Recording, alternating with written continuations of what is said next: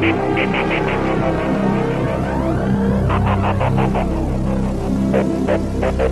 you.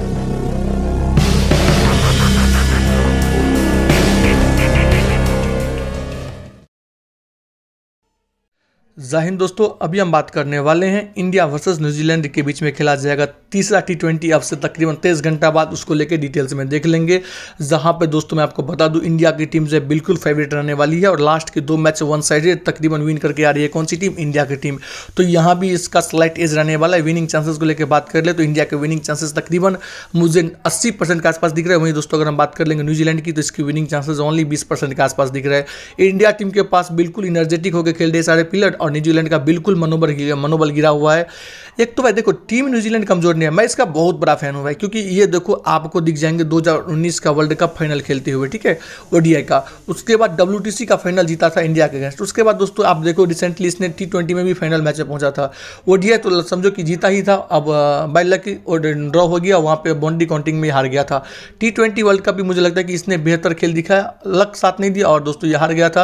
और W में India जैसी टीम को फेंटी लगा दी थी। तो ओवरऑल न्यूजीलैंड की टीम बेहतरीन है और बड़े टूर्नामेंट में हमेशा अच्छा करती है।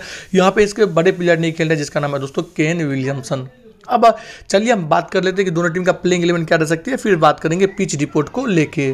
दोस्तों ये सीरीज़ का बिल्कुल आखिरी मैच है, जहाँ पे खेला जाएगा कहाँ पे? ईडन गार्डन कोलकाता पे। और अगर हम कैपेसिटी की बात कर ले, तिरसठ हज़ार की कैपेसिटी वाली ग्राउंड है, और बिल्कुल बैटिंग ट्रैक आपको पिच दिख जाएँगे। कोलकाता में भारी वर्कर रन बनती है, और पेज गेंदबाज को यहाँ पे मदद मिलती है। स्पिन को बिल्कुल आपको मदद मिलते हुए नहीं दिखाई दी जाएँगी। अब मान लो अश्विन जैसे स्पिनर मिलेंगे राशिद खान जैसे स्पिनर मिलेंगे तो दोस्तों, वो कब्रिस्तान में भी अच्छा गेंदबाजी कर लेंगे। वो उसको कोई दिक्कत नहीं होती कि कहाँ पर गेंदबाजी स्पिन मिलेगी, मदद कहाँ पर नहीं मिलेंगी। अब हम बात करेंगे तो ये मैच खेला जाएगा कल सात बजे। और दोस्तों, अभी तक दोनों टीम ने स्क्वाड अनाउंस नहीं किया, लेकिन मुझे लगता नहीं है कि कोई बड़े स्क्वाड में चेंजेस लाने वाली है कोई टीम हाँ आफ्टर टॉस अगर मान लो कोई बड़े चेंजेस होते हैं, उसको अपडेट्स मैं आप लोग को टेलीग्राम पर प्रोवाइड करवा दूँगा। टेलीग्राम पर जुड़ने के लिए आपको छोटा सा काम करना है। इसी वीडियो के जाने कमेंट सेक्शन में और सबसे टॉप कमेंट में दिख जाएगा टेलीग्राम चैनल का लिंक उसके ऊपर क्लिक करके आप सभी को टेलीग्राम चैनल से ज्वाइन हो जाने हैं। या फिर दोस्तों, आपको टेलीग्राम पर जाकर सर्च कर लेना है कुछ ऐसा। आपको टेलीग्राम पर जाकर सर्च करने एट द रेट प्रेड राजा वन टू थ्री जैसे आप ये सर्च करोगे, आपको एक चैनल दिख जाएगा सेवेंटी के सब्सक्राइबर के आसपास। उसी में आप लोग को जुड़ जाने हैं। बाकी सारे फेक चैनल है। फेक चैनल से आप लोग को दूरी बना के रखना है। इसमें हज़ार, दो हज़ार ऊपर नीचे दिख सकता है आप लोगों को। अब दोस्तों, जैसे आप चैनल पर जाओगे, आपको नीचे में दिखेगा ज्वाइन का ऑप्शन इसके ऊपर क्लिक करके आप लोगों को ज्वाइन हो जाने और साथ में जब आप ऊपर ध्यान दोगे ना तो आपको दिख जाएँगे वो अपलीकेशन जहाँ पे मेरे इन्वेस्टमेंट होते हैं। तो दोस्तों, अगर इनमें से कोई एप्लीकेशन आपके पास ना हो तो बेहिजक जाके डाउनलोड कर लीजिए। और अगर आप फ्री टाइम में रहते हो तो दोस्तों लूडो खेलिए लिए। कहाँ पे? हेलो लूडो पे। और वहाँ से भी थोड़ा बहुत अपना इनकम जो है निकाल सकते हो दिन का। अब हम बात कर लेते हैं, जो पहला टी ट्वेंटी खेला गया था जयपुर में और दूसरा खेला गया था रांची में। उसको लेकर था डिटेल्स में बात कर लेते हैं। तो पहले मैच में इंडिया ने पाँच विकेट से न्यूजीलैंड को मार दी थी, दूसरे मैच में इंडिया ने सात विकेट से न्यूजीलैंड को मार दी थी। इंडिया टीम एक्सपेरिमेंट करेगी, इसमें कोई दोहराई नहीं है, पहले बल्लेबाजी करते हुए पहले मैच में न्यूजीलैंड ने खड़ा की थी एक रन गप्तिल सत्तर D Mitchell zero, Chapman sixty three, Glenn Phillips zero, Seifert बारह रविंद्रा सात, सेंटनर चार, सऊदी ज़ीरो। गेंदबाजी में बात कर लेंगे तो भुवनेश्वर चार ओवर चौबीस रन, दो विकेट, दीपक चौर चार ओवर, बयालीस रन, एक विकेट, सिराज चार ओवर, उनचालीस रन, एक विकेट, अश्विन चार ओवर, तेईस रन, दो विकेट, अक्षर पटेल चार ओवर, इकतीस रन, ज़ीरो विकेट, बात कर लेंगे बल्लेबाजी में। तो राहुल ने पंद्रह किए थे, Rohit Sharma forty eight run, Suryakumar Yadav sixty two run, Rishabh Pant seventeen Shreyas Iyer पाँच, वेंकटेश अयर चार, अक्षर पटेल एक बात करेंगे। गेंदबाजी में न्यूजीलैंड की तरफ़ से तो टीम सऊदी चार ओवर चालीस रन, एक विकेट। ट्रेंट बोल्ट ने चार ओवर इकतीस रन देकर दो विकेट लिए तो फर्गूसन दोस्तों मोस्ट प्रोबली ये मैच मिस करने वाले हैं। सेंटनर चार ओवर उन्नीस रन, एक विकेट। एस्टल भी मिस करेंगे, मिचेल ज़्यादा गेंदबाजी करते ही नहीं है। डेथ बॉलिंग को लेकर बात कर ले तो आपको नज़र आ जाएँगे ट्रेंट बोल्ट, एडन मिलनी और सऊदी में से कोई एक। अब अगर इंडिया से डेथ बॉलिंग को लेकर बात कर ले तो सिराज जो स्पेशलिस्ट थे, वो इंजूर्ड हो गए तो दोस्तों यहाँ से आपको दिख जाएँगे हर्षल पटेल के साथ भुवनेश्वर कुमार। अब मैच नंबर टू की बात कर ले दोस्तों तो यहाँ पे मैडम जी का क्या फ़ोटो दिखा रहा है यार? मैच नंबर टू में इंडिया पहले गेंदबाजी फिर से की थी, जहाँ पे न्यूजीलैंड ने बोर्ड पर खड़ा किए थे, एक रन पे छः विकेट स्टार्ट बेहतरीन मिला था। पाँच ओवर में दोस्तों पचास क्रॉस कर गई थी न्यूजीलैंड की टीम गप्टिल इकतीस, डी मिचेल इकतीस, चैपमैन इक्कीस। दोस्तों, चैपमैन मुझे बेहतरीन प्लेयर में से एक लगता है। अगर आपको पता ना हो तो बता दूँ कि ये प्लेयर ऐसा है ना कि अपना ये दो टीम के साथ खेल चुके हैं इंटरनेशनल मैच मतलब मुझे एक याद नहीं आ रहा कि इसके साथ खेला था, लेकिन ओमान के अगेंस्ट दोस्तों, ये पहला डेब्यू मैच में भी पचास प्लस किया हुआ था, और जब दोस्तों यहाँ से न्यूजीलैंड से डेब्यू किया था तो वहाँ पर भी इसने पचास प्लस का स्कोर किया हुआ था इंडिया के अगेंस्ट टी में। उसके अलावा Glenn Phillips thirty four run Seifert तेरह निसम तीन, सेंटनर आठ मिलने पाँच। अगर हम बॉलिंग में बात कर लेंगे, भुवनेश्वर चार ओवर उनचालीस रन, एक विकेट दीपक चार चार ओवर बयालीस रन, एक विकेट अक्षर पटेल चार ओवर छब्बीस रन, एक विकेट अक्षर पटेल के बॉल में दोस्तों दो कैच ड्रॉप हुए थे, इस बात को आप लोगों को याद रखने हैं। अश्विन चार ओवर उन्नीस रन, एक विकेट हर्षल पटेल चार ओवर पच्चीस रन, दो विकेट वहीं अगर इंडिया की बात कर ले तो वैसे वो स्टार्टिंग ही फिनिश कर दिए थे। राहुल ने किए थे sixty five Rohit Sharma fifty five Venkatesh Iyer का बैटिंग पोजिशन नीचे जाएगा, इसको आप लोग याद रखिएगा। हो सकता है कि प्रमोशन भी मिल जाए, यहाँ तक कि अगर कोई ओपनर नहीं खेलते हैं तो उसके जगह ओपन भी कर सकते हैं, उसमें कोई दोहरा नहीं है। लेकिन इसका बैटिंग रोल बिल्कुल फिक्स नहीं है और कल हो सकता है कि अय्यर आपको एक से दो ओवर गेंदबाजी भी करते नज़र आ जाए। रीज़न क्या है ना कि ये ईडन गार्डन पे मैच है, जहाँ पे स्पिनर को ज़्यादा मदद मिलती नहीं है। तो अगर मान लो अक्सर या फिर अश्विन में से किसी का स्पेल कम होता है तो आपको वेंकटेश अयर दिख जाएँगे। वो स्पेल कंप्लीट करते हुए सूर्य कुमार यादव एक रन ऋषभ पंत किए हुए थे, बारह रन बात करेंगे गेंदबाजी में टीम सऊदी ने की और मैं आकर तीन विकेट ले लिए थे। आई थिंक तीन या दो विकेट लिए थे एक ओवर में। टीम सऊदी चार ओवर, सोलह रन, तीन विकेट। ट्रेंट बोल्ट ने चार ओवर कंप्लीट डाले थे, छत्तीस रन, ज़ीरो विकेट। सेंटनर चार ओवर, तैतीस रन, ज़ीरो विकेट। मिलने कुछ खास किए नहीं थे, सऊदी कुछ खास नहीं किए थे। सिमी निसम का भाई सब यही हाल था। अब आइए हम देख लेते हैं अपना ड्रीम इलेवन का टीम। अब बात करेंगे दोस्तों ड्रीम इलेवन टीम तो ये टॉस के ऊपर डिपेंड करेगा कि ऋषभ पंत या फिर टीम से सैफर्ट अगर इंडिया टीम पहले बल्लेबाजी करती है तो ऋषभ पंत, अगर इंडिया टीम पहले गेंदबाजी करती है तो टीम से सैफर्ट बल्लेबाजी में बात कर लेंगे तो रोहित शर्मा, लोकेश राहुल मार्टन गुप्ती सूर्य कुमार यादव, इन चार को हम लोग लेकर जाएँगे। चैपमैन को ट्राई कर सकते हैं। ये बेहतर खेल दिखा है रिसेंटली और ये भी टॉस के ऊपर ही डिपेंड करेगा। अगर दोस्तों इंडिया जाएगी चेस करने के लिए तो हम न्यूजीलैंड का एक भी गेंदबाज को नहीं लेंगे। अगर मजबूरन बस हमको ट्रेंट बोल्ट के लेना पड़ा तो लेंगे। अदरवाइज़ दोस्तों, हम एक भी ट्राई नहीं करेंगे। अश्विन को ले लेंगे, भुवनेश्वर कुमार को इसके अलावा हम लोग ले लेंगे अपनी टीम में हर्षल पटेल को।